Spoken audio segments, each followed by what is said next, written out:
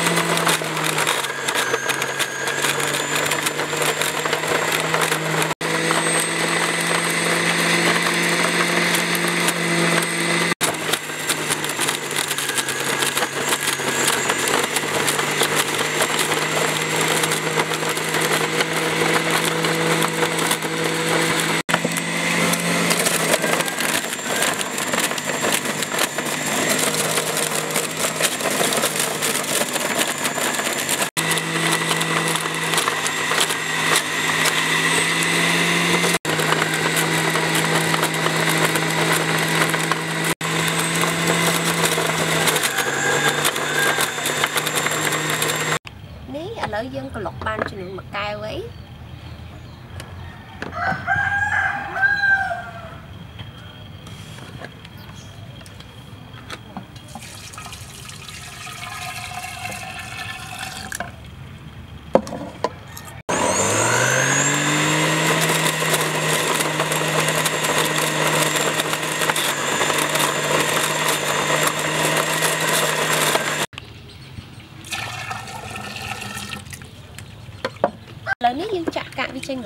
muối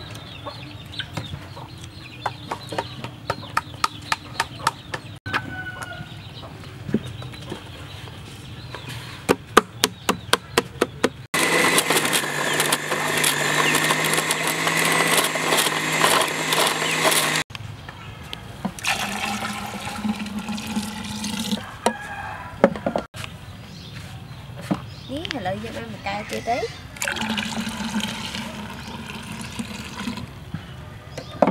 នេះយើងចាប់ដើមកោសទឹកដោះគោ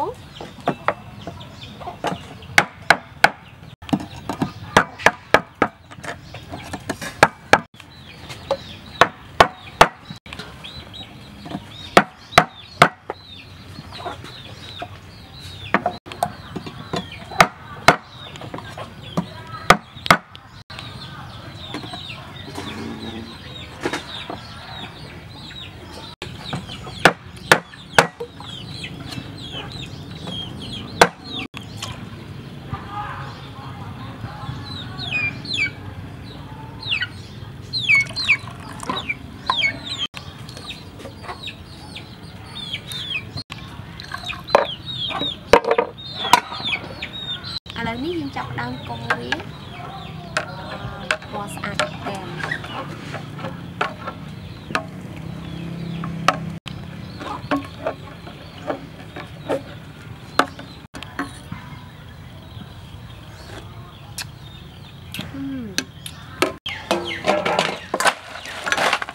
នេះឥឡូវយើងចាប់ដើមដំតកកដាក់ចូល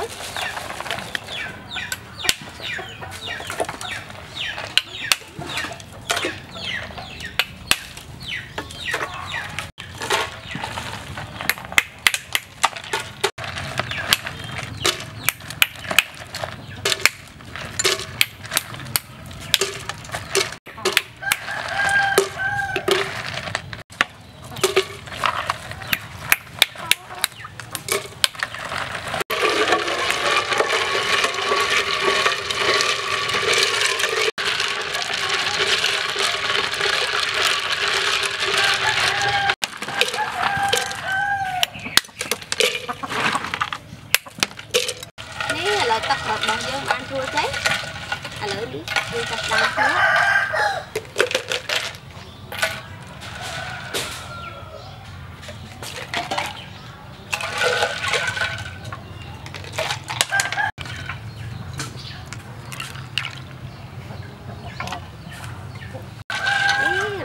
Ini yang baru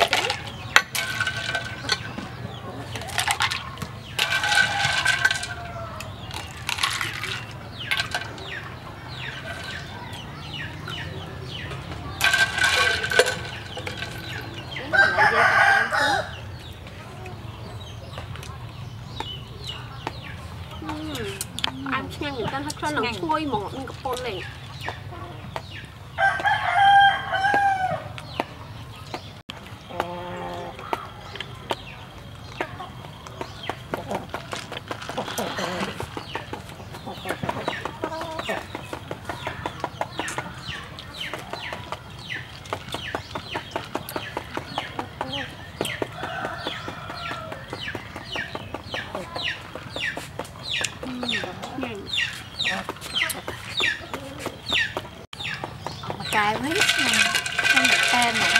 ជាតិតង់ផ្អែមហើយឡើងឈ្ងុយអានឹងកំពុលលេងតិចសោះឥ